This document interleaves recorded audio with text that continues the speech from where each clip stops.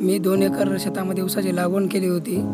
लागून करताना सुद्धा माझ्याकडे आर्थिक अडचणी असल्यामुळं माझ्याकडे पैसा नव्हता. तर मी सोसायटीकडून थोडं बहुत कर्ज उचललं आणि गावातील काही खाजगी सावकाराकडून पैसे घेतलेले होते व शेत शेतामध्ये ऊसाची लागून केली.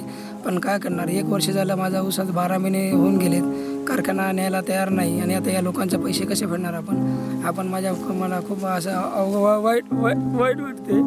कारण कोणापुढे जायचं म्हटलं तर कसं झालं आपण? कारण एवढं एवढे मेहनत करून रात्रंदिवस उसाला पाणी दिलं. खतं टायमाला टाकले.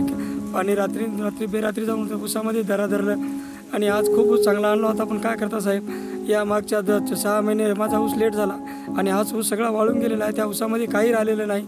आणि मी आणलेले लोकांचे पैसे कसे देणार? आणि कारखान्याकडे मी गेलो तर कारखान्याने माझा ऊस खरं अपेक्षित होता की नोव्हेंबर डिसेंबरला ऊस न्यायला पाहिजे होता पण त्यांनी नेला नाही. आणि आज मी त्यांच्याकडे गेलो होतो ते पुढं चालढकल चालढकल करत राहतात. आणि असंच त्यांनी करत राहिलं तर माझं कसं होणार? आणि मला ऊस काढण्यासाठी सुद्धा माझ्याकडं एक ए- एक रुपया राहिलेलं नाही. कारण काय काय करणार माणूस?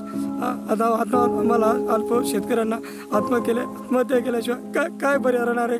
तुम्ही सांगा मायबाप सरकार मायबापांना माझी सरकार मायबापांना माझी विनंती आहे की सरकारनेच आमच्याकडे थोडं काहीतरी बघावं.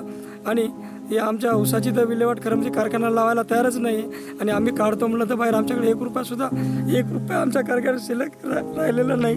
त्याच्यामुळं आमची खूप खूप खूप आता हालपेष्टा होत आहेत. आणि पुढचं आयुष्य आम्ही कसं जगणार? आम्हाला खूप मोठा आमच्यासमोर प्रश्न पडलेला आहे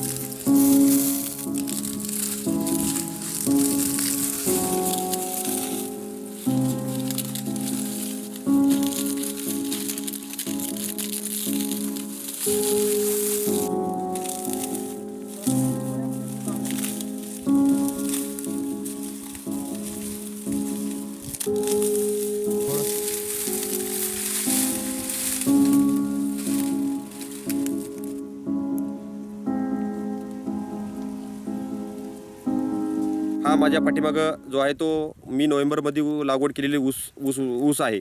या ऊसाचे जवळपास नोव्हेंबर ते नोव्हेंबर बारा महिने हे कंप्लीट झाले आहेत. या हा ऊस मी जवळपास तीन एकर क्षेत्रामध्ये मी लावलेला आहे. आणि अजूनही हा ऊस अठरा ते एकोणीस महिने झाले तरीही ऊस गळपाला हा कारखान्याला गेलेला नाही.